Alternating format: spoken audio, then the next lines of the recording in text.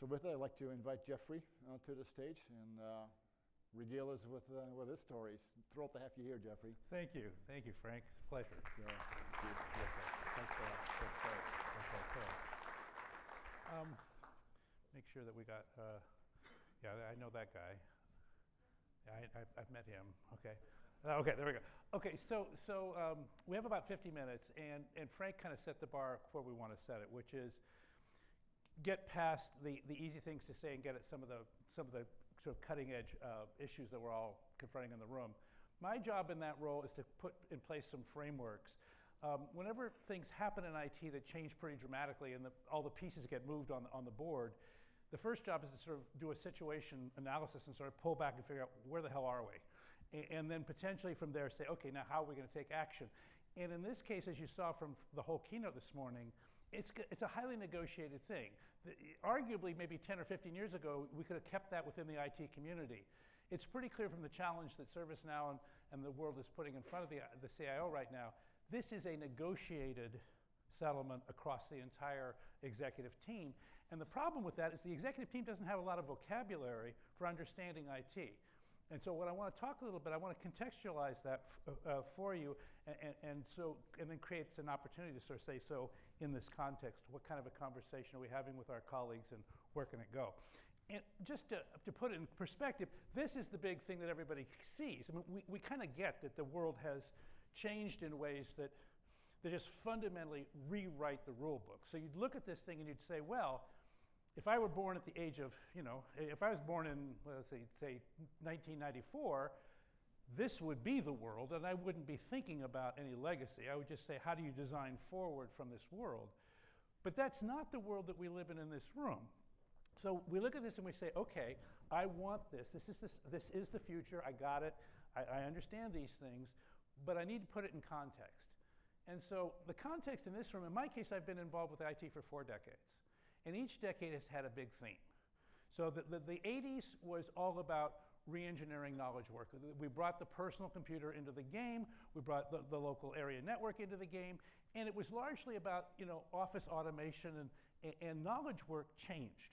So all of a sudden it became actually kind of fun to be a knowledge worker. Uh, productivity actually didn't change. There was an article in about 1990 that was like, we've spent all this money on personal computing. Does, anybody getting a return on innovation or on investment? And the answer was, well, yeah, you, use, you know, mumble, mumble, mumble, mumble. So, which is, is short for no. But the next, the next decade, we bolted that infrastructure onto the back office. We were able to finally standardize at the edge around Windows. We were able to create a client-server architecture. So now all of a sudden we could, we could get back office information, information to the front, front to the back. We created ERP, we created CRM, we created SCM. We were able to move masses, a massive amount of work out of the developed economies into the developing economies. We fundamentally re-engineered the economy of the world very much for the better, a little bit challenging for us in this decade in the developed economy. But from the point of view of the world and China and India, it's just unbelievable accomplishment and a huge, huge, huge productivity boost for the world, largely attributable to IT. And the combined theme of those two decades, we would now call systems of record, taking systems of record out of the mainframe and putting them at work in the world to create the global economy. Huge accomplishment. At the end of that decade, Y2K, we just did it one more time, right? What the hell? And at that point, I think there was a large digestive burp, and enterprise IT kind of went on hold. It's like, I don't, we can't eat anymore. And by the way, I think we should start, we should start going on a diet, in fact. Meanwhile, so enterprise IT goes on hold. Venture actually gets enamored of biotech, it gets enamored of clean tech, because it's pretty sure that enterprise tech is gone. And then all of a sudden, it's like, hang on, consumer IT. So out of fundamentally for somebody who was raised in the IT thing, consumer IT came out of nowhere for, from, my, from my experience base. Because IT had always started in the enterprise and gone to the consumer. It was like, no, this is a completely different model. This is the SMAC model. And the impact and the importance of this decade is two things, and, and, and, Frank talked about both of them, I think, in his keynote. But one is or, uh, uh, the fellow who's got the wonderful spiky hair. Is it Rob? Rob. So, so, so I mean, really, I just wish I could look that. If I could just like spike it up a little, I think I'd be 20 years younger. Uh, but, uh, but you look at that and, and you go, look, it's, a, it's now a, a world, it's a different experience. And if you have children or grandchildren that are, that are young, you kind of see, digital, it, it isn't technology, it's, it's their life. I mean, it's, it, there isn't like, I have my digital, I have my digital life and my analog life. It's, no, no, this is my life. And the little kid does this on the magazine and the picture doesn't move because this is the world. So, important number one is the interface is now established. This is the interface.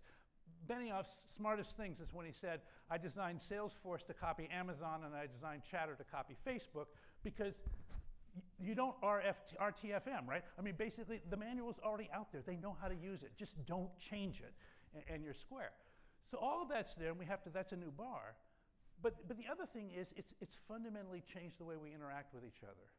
And so what's interesting, the opportunity of this decade is, can we do it again? We did it in the 90s. We were able to take an, an, a, a, a user-centric infrastructure and bring it into the enterprise. Can we do it again? And obviously, our colleagues are saying, you have to do it again.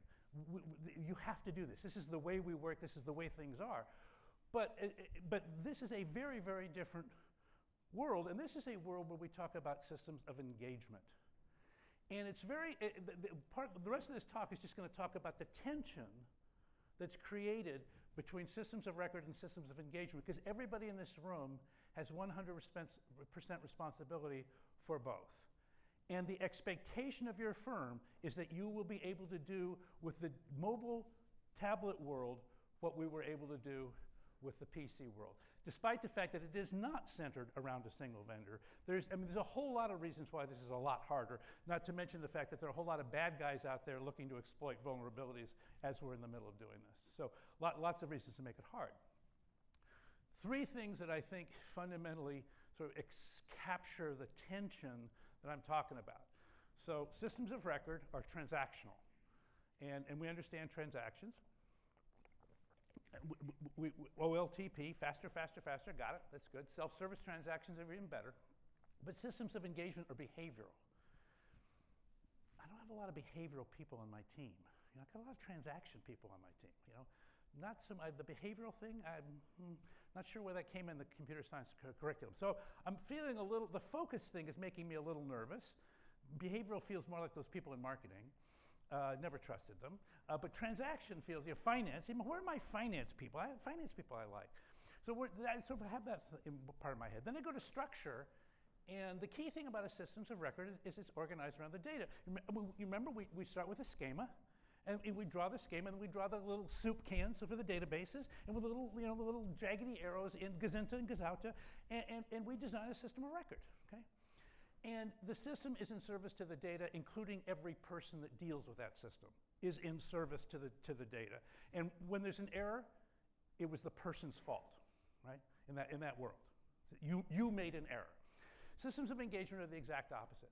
Systems of engagement are organized around user experiences man, I mean, who in my IT group is my user experience person? Now, I don't know. Are there people, do you have somebody, how many people here have somebody in your team whose, whose job is user experience design? Okay, okay, so see, it, yeah, okay, so we're good. It, it, it's, and by the way, in the Valley Design School, the D School at Stanford, there's a bunch of cool things going on around that. But, but that's, it's, you know, if I said two people, how many hands would go down? And if I said three people, you know, at some point it's like, of my four, 350 people. So, so that, that one's certainly, you know, attention. And then this third thing about just the value systems. I mean, look, if I'm on the audit committee of a public company, secure and accurate, those are very important words to keep me out of an orange jumpsuit, right? So, I mean, look, the, the, our IT person is, is, is, is up against that, even though I'm suggesting we be innovative with IT at the same time. Charming and easy to use, that was not exactly the phrases that leapt to mind with SAP and Oracle. I mean, just did, you know, no, secure and accurate. Yeah, those were the good ones, right? So if you look at this and you say, what is actually going on and how is this stress playing out? And, and how are we experiencing as, as, as an industry? We look at this thing, we say, okay, this is the stack. We call this the client server stack. This is something we built largely in the 90s. And we, we said at the top of the thing, there's going to be a bunch of stuff that the users will experience. The middle is a bunch of stuff that kind of makes the stuff work. The stuff at the bottom is the stuff that's run by electrons. And if you look at this stack, most of us in this room, the, size of the companies represented in this room, we are heavily invested in this stack, deeply invested, have been for decades. Our core systems of record live here. And what's happened in the, in the 21st century, in the 20th century, the companies on the right were hyper growth companies. They were the leading large cap tech companies uh, of that decade. Since 2000, these stocks have all basically been flat. Because what's happened was the business community said, look, enough's enough. We're, never, we're not going to divorce these people, but we're not going to invest in. It, it, this is not where we want to spend more money in the future. That thing, I, that little quote on the, on the video at the, at the thing, you know, we've gotten most of the lifetime value from these systems. So let's consolidate. Let's do it right. Let, you know, let's make sure that we stick together. I'm, you know, I'm paying you some money, but it's money that you're extracting from your colleagues. And frankly, your colleagues are looking at you with this group of people saying, I think every year you should squeeze this a little bit more out. So, like two, three, four, five percent cost reduction for year, say for till the end of time. Would that, would that work for you, right? so, but, that, but that's kind of what, what they have in mind. So you look at that and you go, okay, that's part of my job. You, you, you don't get to divorce yourself from that job. But what's happening is this stack is morphing, meaning at every level of the stack, something new is coming not to displace, but to counterbalance or to compete for attention with. So, is business process consulting going to go away? Of course not. But the new hot thing is user experience design. So, you know, we used to have business analysts. We still have business analysts, but now we have these user design experience. Okay, well, that's, that's pretty new. So, desktop computing, nobody's throwing away their desktops, but we know that all of the growth is in mobile. It's in tablets and it's, it's, it's in the smartphone. We got that. Okay, so mobile, okay, I, can do this. You know, on-premise apps, my financials, whatever, I mean, whatever, whatever legacy ERP system, it's probably not going anywhere soon, but we know it's a SaaS world. And at the margin, every time you would bring an on-premise app in into the future, you'd feel like, man, I, is this really what I should be doing? Shouldn't I be trying to find a way to do this with SaaS? Business intelligence, great. You know, trying to make executives smart, it, it's, it's work. But you know, but it's you know, it pays. But the truth of the matter is the hot stuff is not people. The hot stuff is analytics and machine learning. So all those processes where basically we're going to help computer people make better decisions. Frank said it, or, or Rob said it right. You put a person in the middle, you slow things down or you dumb things down, or both, right? But, but the truth is that's not completely fair. There are places, machine learning does not have judgment. There are places, but, but, but now we're, we're, we're, we're, again, we're trying to maintain. So if I have a dollar, do I put it into business intelligence or do I put it into analytics and machine learning? Do I put it into enterprise document management because I still have all that stuff? Or do I put it into some kind of collaborative content management, so box, Dropboxy kind of stuff? It just keeps going. So the web application stuff, great, but now all the mobile app stuff, and particularly with all this, all the heartbleed kind of things that are going on. So again, enterprise directory, great, except in this new economy, many of the people I need to interact with aren't in my company. So I need to have some sort of identity management that goes beyond the enterprise. Well, how do I do that, right? And, and systems management, internal stuff for efficiency, still there, but this huge anxiety now around security management. And how much money should I be putting into that? And, and, database management, which is kind of, was kind of the anchor tenant of this entire stack. The relational database was sort of the, the hub of this whole world. Well, now it's saying, yeah, but most of the data at the margin that my colleagues are now interested in isn't in our databases. It's not, or it's, it's either in log files, it's in this data, cloud halo or digital exhaust or whatever you want to call this stuff, but it's not in a relational database.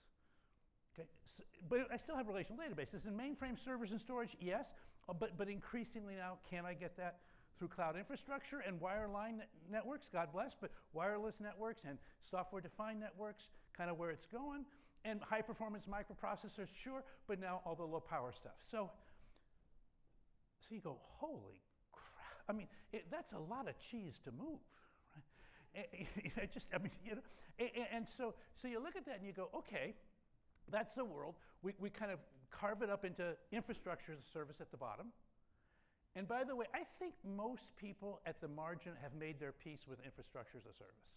You know, I mean, yes, but at, on the whole, I think people are going, that one feels like that's getting solved. At the top, we're talking about software as a service. I have to say, you know, God bless, you know, Salesforce and Aneel and Mark and all these people.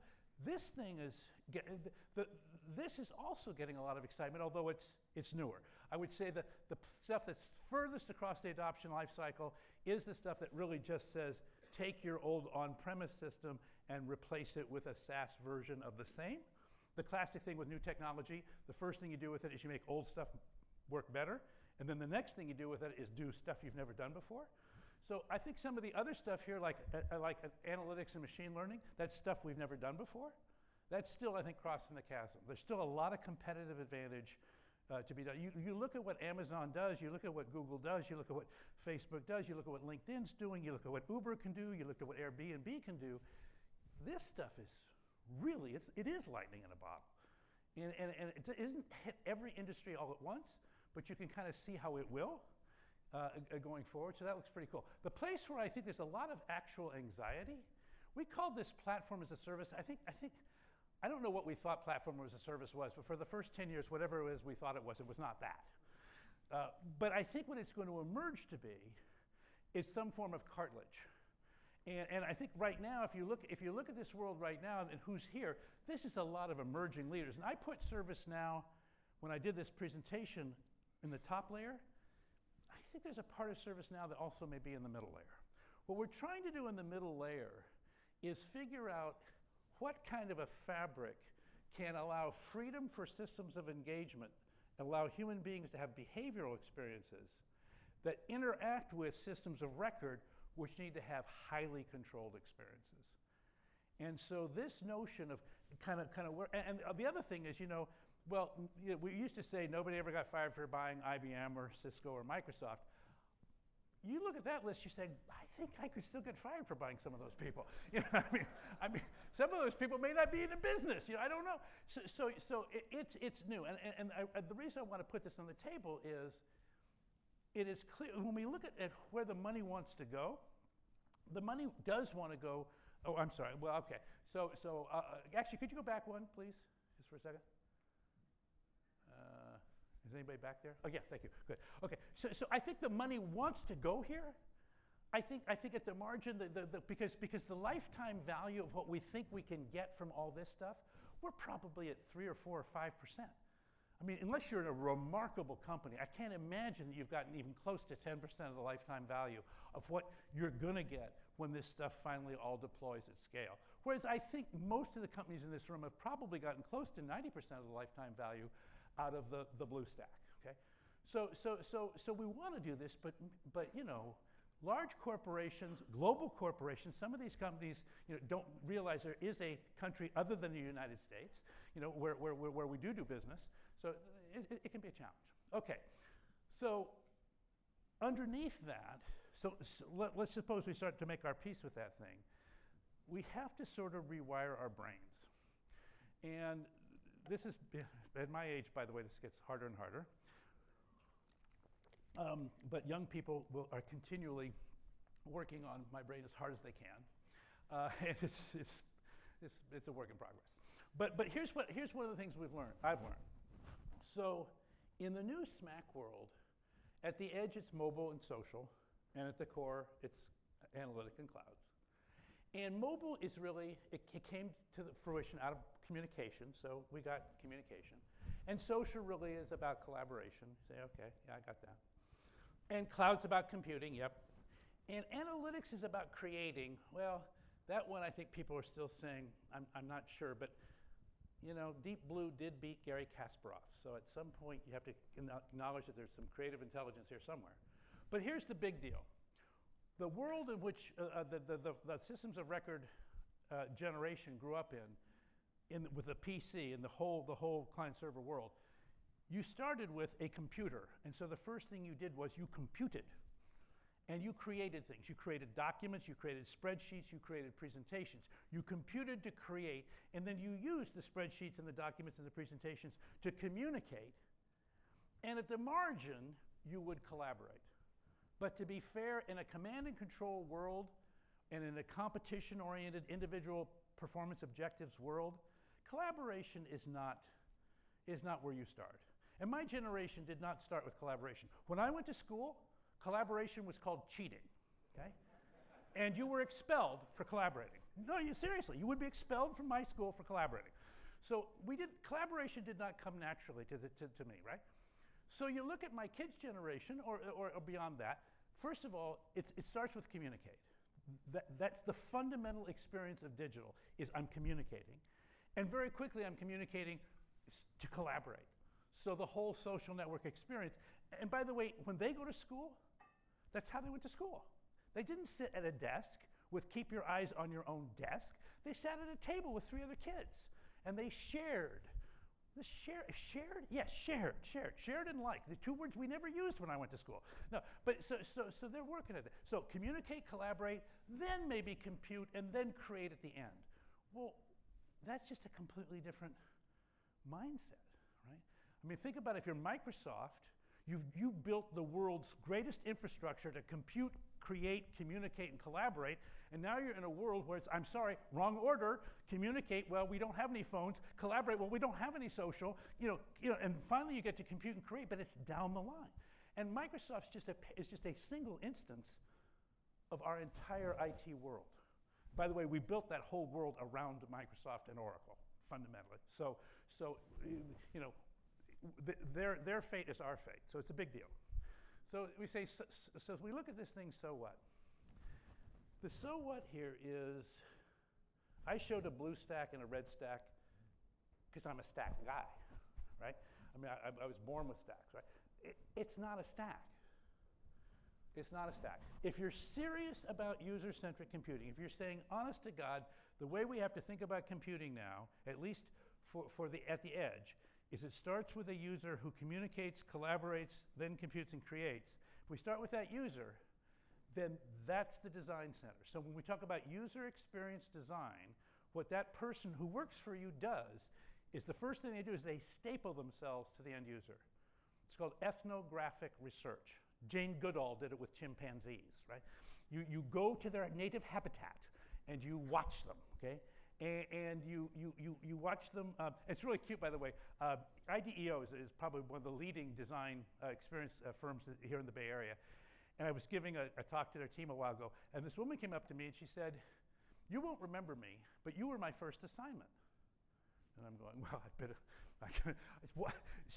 You were at Regis McKenna, it was 1987, and my, we were going to introduce something around pen based computing, and my job was to find out how you used a pen.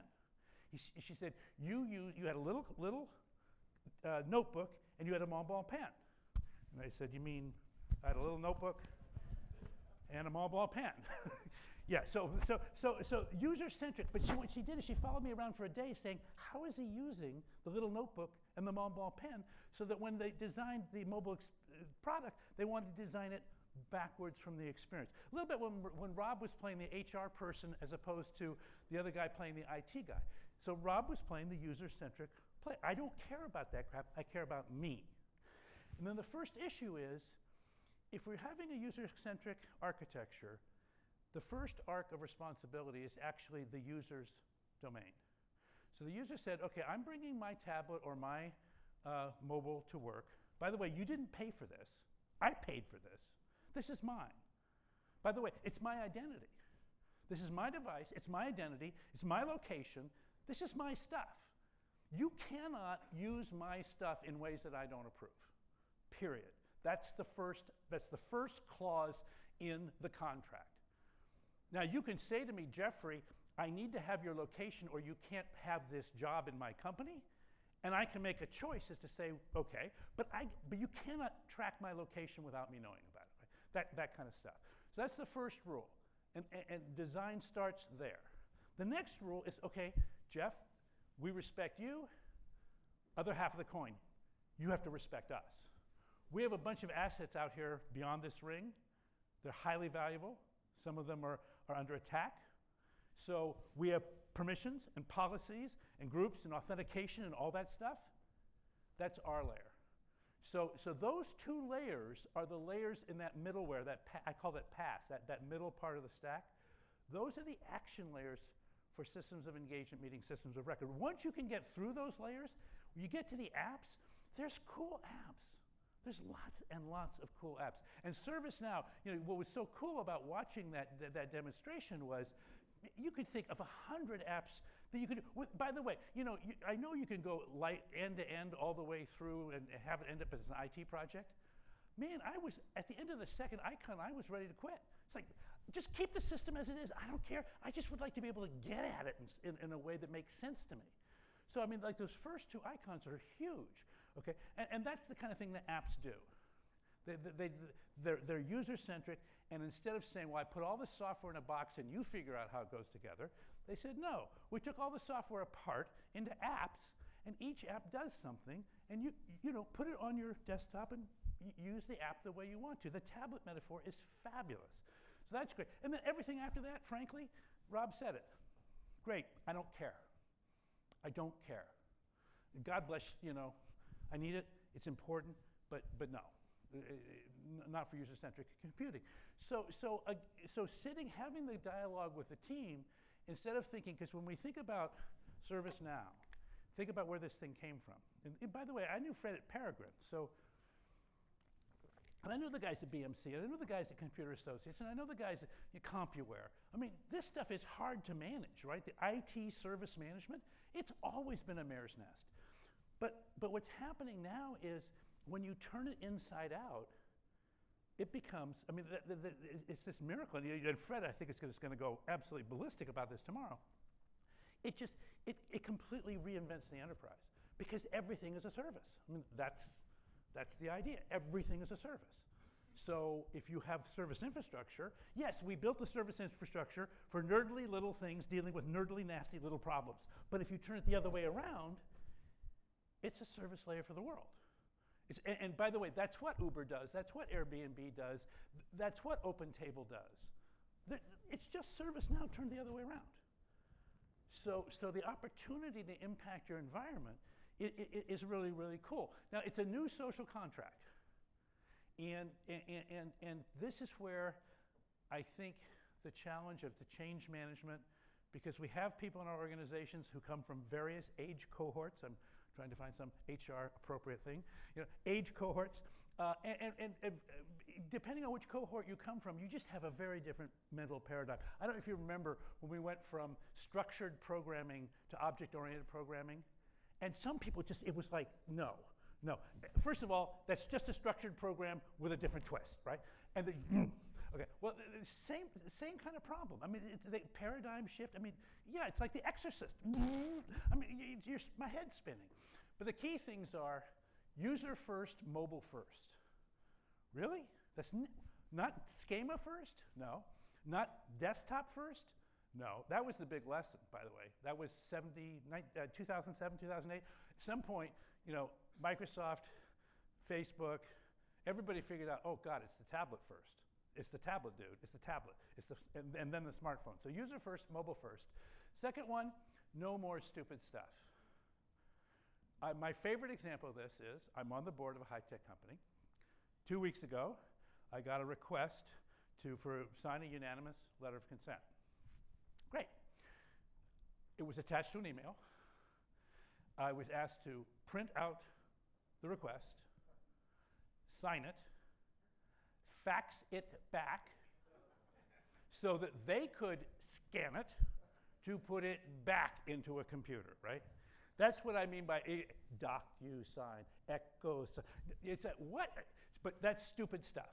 And basically, what's happening is at some level, you, you the, the, the, next layer of talent will go, I can't work at a company where you do stupid stuff. Okay? Just, it's stupid stuff.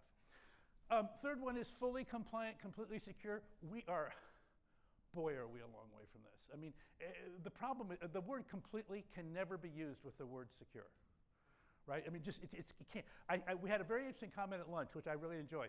He's, a fellow said, I just try to create a, a risk, a cost risk curve, which says, okay, as I spend, I guess as I go, uh, how does it go? It's this way. Uh, if I spend more and more money, I can asymptotically reduce rich, but I can never get risk to, to, to 100% complete. I guess it probably maybe goes that way.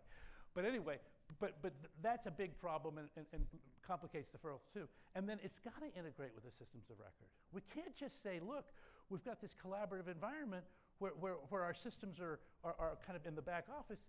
No, the, the, the, what happens in the new value chain is the system of record actually starts the moment of engagement because the system of record produces an alert. Something, if, by the way, if the system's record is working, we could be golfing. What happens is the system of record at some point, the world and the system do not actually align. It always happens. So there's an alert. Okay, so there's an alert. So now what I have to do is I have to engage. That's when I want my system of engagement. Because the problem with that alert is, and the illusion, a little bit of the demo we saw today, the answer to the alert is not in the database. Now, we said, well, we can go and chat, maybe. Chatting sometimes, I mean, you know, you can go on a, go to social network. Yes, that helps. But, but that's only one system of engagement. Maybe I need to make a phone call. Maybe I need to text somebody. Maybe I need to you know, do, do a video conference with somebody. Maybe I have to pull three or four people together in a conference call. Whatever it is, I, have got to get it going. And so those four have to work together to make the new world work. So last, last thing I want to close on. And then we have, a, we have a few minutes, I think, to just, if your crap detector's been going off, just, you know, just have at me in just a couple of seconds. Um, but there is an important thing, and it does relate a lot to, I think, the opportunity with ServiceNow. I think the biggest risk um, that ServiceNow and you have in front of you is that you may end up majoring in minors. That you may take this world class opportunity and apply it to something that is too safe. Too safe, majoring in minors.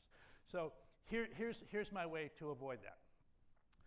I, I think you want to have a conversation with your line of business colleagues, and you starts with, hey, I was at this speech that this Moore guy gave, and he said, every market-facing strategy is made or broken during a handful of moments of engagement. This is kind of like the zero out moment of truth kind of thing, or the first moment of truth of Procter & Gamble. SAS used to say that.